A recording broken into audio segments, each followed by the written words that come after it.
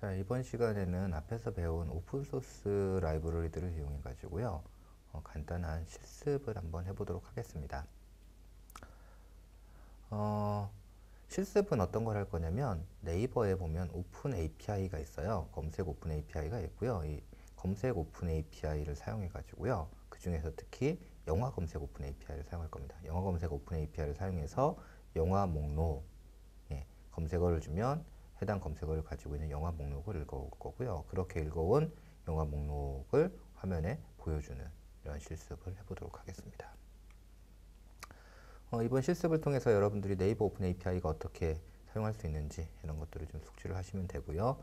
그 다음에 어, 실습에 사용하는 규격, 영화 검색, 오픈 API 규격에 대한 것도 이해하시면 됩니다. 어, 중요한 것은 이제 여러분들이 이 실습을 할 때 OkHttp라고 하는 라이브러리와 Picasso라고 하는 라이브러리를 써가지고 실습을 진행을 할 것이기 때문에 OkHttp와 Picasso를 바, 사용하는 방법을 숙지를 하시면 됩니다.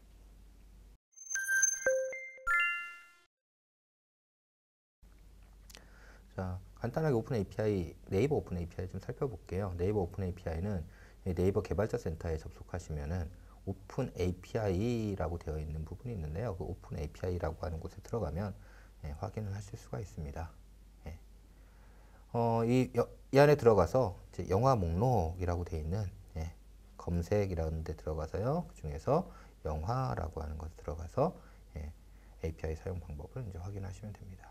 데이터를 얻어올 때는 OkHttp를 이용해서 얻어올 거고요. 그 다음에 이미지를 출력할 때는 Picasso를 이용해서 이미지를 출력할 겁니다. 데이터는 XML로 되어 있기 때문에 XML 파싱을 할 건데 XML 파싱은 심플 XML 파서를 이용해 가지고 parsing을 하시면 됩니다. 어, 네이버 open API도 똑같이 open API니까 키를 발급받아야겠죠. 그래서 이제 키를 발급받는 것은 어떻게 하면 되냐면 이제 검색이라고 하는 곳에 들어가서요. 예, 그곳에 들어가면 저기 키 발급이라고 있습니다.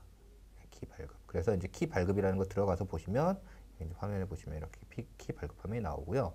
여기서 뭐 키 추가라고 해가지고 새로운 키를 추가하시면 됩니다.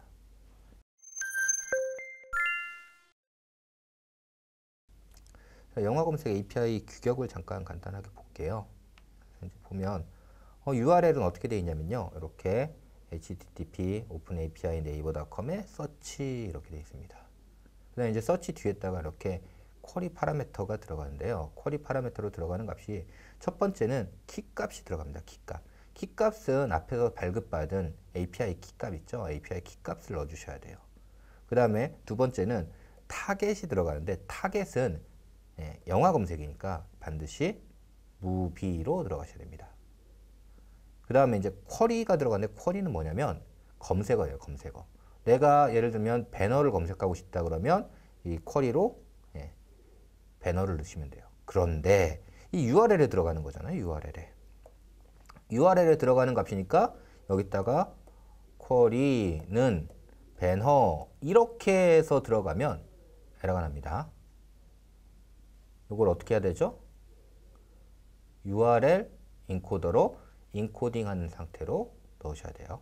URL 인코더로 인코딩해서 보내셔야 됩니다. 그래서 URL 인코더로 인코딩한 데이터를 여기다가 이렇게 넣도록 되어 있습니다. UTF-8로 인코딩한 다음에 URL 인코더 가지고 인코딩해서 그 데이터를 넣으셔야 돼요.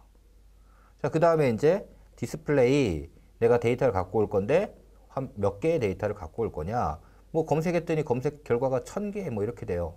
그럼 천 개를 한꺼번에 다 갖고 올 거냐? 어, 그렇지 않고요. 일반적으로 모바일에서 할 때는 네, 정해진 개수, 일정한 개수만큼만 갖고 옵니다. 뭐 20개면 20개, 50개면 50개 이렇게 갖고 오고요. 요거 다 보여주고 나서 맨 아래까지 딱 도달하면 어떡하죠? 더보기라는 걸 하죠. 더보기를 해가지고 추가적으로 더 갖고 오는 거예요. 그래서 어떻게 하냐면 스타트라는 게 있고 디스플레이라는 게 있죠. 그래서 일반적으로 스타트는 1이고요. 디스플레이는 뭐 10 이렇게 했어요. 그럼 맨 끝에까지 가면 이제 그 다음 어떻게 하면 돼요? 다시 스타트는 11이고요. 디스플레이는 10 이렇게 해가지고 10개 더 갖고 오는 거죠. 그럼 이제 화면에 몇 개 보여주는 거예요. 그렇게 해서 20개 보여주고요. 맨 아래까지 또 도달하면 어떻게 해요? 또 이번에는 21부터 10개 이런 식으로 갖고 오는 겁니다. 어, 디스플레이 개수 얘는 몇 개가 되는 게 좋으냐? 이거는 여러분들이 테스트를 열심히 해보셔야 돼요. 그래서 성능이 데이터 사이즈가 너무 커져가지고 네트워크 성능 때문에 떨어지면 안 되겠죠? 그런데 너무 자주 호출해가지고 사용자가 또안 되겠죠? 그러니까 이제 그 적당한 개수는 여러분들이 찾으셔야 됩니다. 네. 그렇게 해가지고 스타트와 디스플레이를 설정할 수 있고요. 그 다음에 이제 장르를 설정한다든지, 그 다음에 국가를 설정한다든지, 그 다음에 영 검색의 시작 연도, 그 다음에 검색의 마지막 연도 이런 것들을 설, 설정할 수가 있어요. 그래서 뭐 이런 것들을 설정해 주면 뭐 2000년도부터 2008년도까지 영화 뭐 이렇게 검색을 할 수가 있는 거죠. 자 저렇게 해서 검색을 하면 그 결과가 어떻게 오냐면 여기에 있는 이런 형태로 옵니다.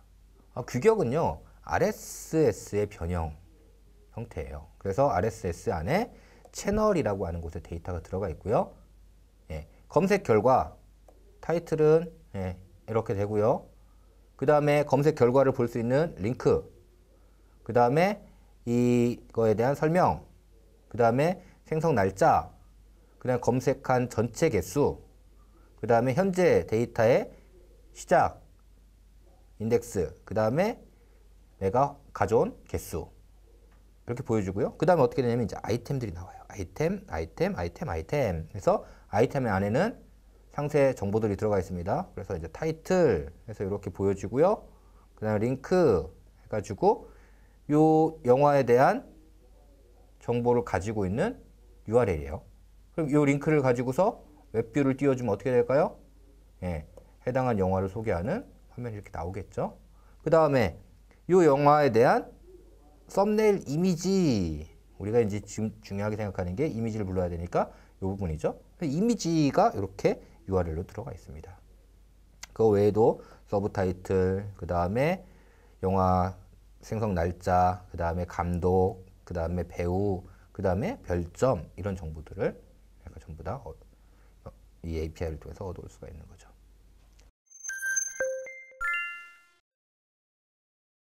자, 실제로 이제 저런 것을 처리하기 위한 코드를 간단하게 살펴볼게요. 이제 화면은 이렇게 구성을 할 거예요. 그래서 화면을 이렇게 구성을 하시면 되고요. 여기다가는 에텍스를 놓고요. 버튼을 놓고요. 요 밑에다가는 이제 어떻게 하냐면 ListView를 하나 놓, 으시면 됩니다. 그래서 이렇게 입력을 하고요. 검색을 딱 하면 검색 결과를 화면에 이렇게 출력을 해주시면 되는 거예요. 근데 검색 결과 앞쪽에는 아까 이미지가 나와야 되고요. 여기는 타이틀이 나와야 되고요. 이 부분에는 감독이 나오면 됩니다. 자, 어, 이렇게 하려면 일단 데이터를 담을 클래스가 있어야 되겠죠. 앞에서 봤듯이 Naver Movies라고 해서 채널 데이터를 담을 예, 클래스를 이렇게 정의할 거고요. 그 안에는 뭐 타이틀이라는 링크, 기타 등등 이런 것들이 있고요. 그 다음에 이제 아이템이라고 하는 게 있었는데 이름을 아이템 하면 좀 이상하죠? items 여러 개니까 이렇게 하는 게 좋겠죠? 그래서 serialized name 해가지고 items 이렇게 했어요. 자, 그 다음에 이제 movie item이라고 하는 건 아이템 하나, 하나의 데이터예요. 그래서 movie item 뭐 있었냐면 타이틀, 링크, 중요한 이미지라는 게 있어요. 네, 그 다음에 뭐 디렉터 등등등 이렇게 있고요. 화면에 이제 정보를 보여주기 위해서 뭐 타이틀하고 네, 디렉터 뭐 이렇게 보여줄 수도 있고요. 네. 그 다음에 이거 가지고서 별도의 item view를 만들어 가지고 item view에다가 보여줄 수도 있습니다. 자, 이렇게 만든 거 가지고요. 이제 가져오는 클래스를 한번 만들어 볼게요. network manager 안에서 네, 영화 갖고 오는 get 네트워크 무비라고 하는 함수를 하나 만들어 보겠습니다. network movie는 이제 어떻게 할 거냐면 우선 URL을 먼저 생성해야겠죠. URL. URL의 구조는 어떻게 되어 있냐면 아까 검색 예, URL HTTP 해가지고 search까지 돼 있는 거 거기다가 물음표 하고서 키값은 이거고요. 그 다음에 query는 이거고요. 디스플레이 이렇게 되고 스타트 이렇게 되고 target은 movie 이렇게 될 겁니다. 그래서 그거에 따라서 어떻게 하냐면 자 URL은 여기 있는 요 정보를 넣고요. 그 다음에 키값 첫 번째는 키값 이렇게 들어가고요. 첫 번째는 키값이 들어가고요. 두 번째는 자 이게 중요하죠. URL 인코더에 인코드 한 다음에 키워드를 UTF-8로 인코딩 한 다음에 URL 인코더로 인코딩된 값이 이렇게 들어가면 되는 거죠. 자, 그 다음에 여기 있다 디스플레이 스타트 target target은 movie겠죠? 이렇게 넣어가지고 URL을 만들었습니다.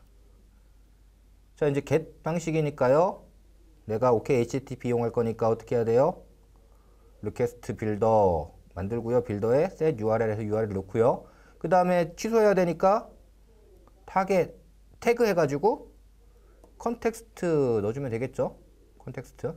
그럼 context가 종료될 때 cancel 해가지고 한꺼번에 지워버릴 수 있겠죠? cancel 태그 해가지고 네, 그래서 여기다가 태그를 이렇게 넣을 겁니다.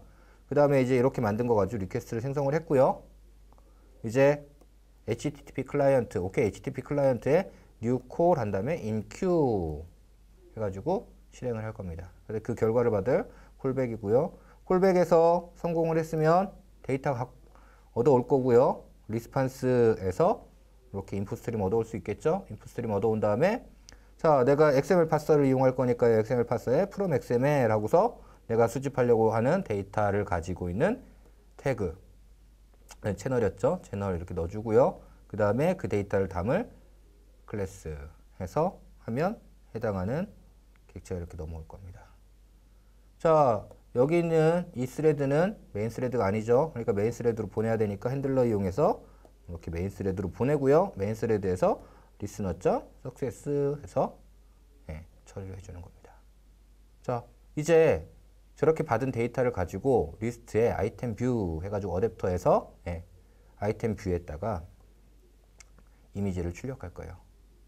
그래서 set image 아이, movie item 이라는 함수를 만들었고요. movie item으로부터 이렇게 이미지 URL을 얻어와 가지고 이 이미지 URL을 가지고 예, 비트맵 얻은 다음에 이 image view에 설정할 겁니다. 그래서 어떻게 하냐면 내가 Picasso라는 거 가지고요. With 한 다음에 여기다가 get context 해서 context 넣어주고요. 그 다음에 load해서 URL 넣어주고 into 한 다음에 여기다가 image view를 설정해주면 이미지가 출력이 될 겁니다.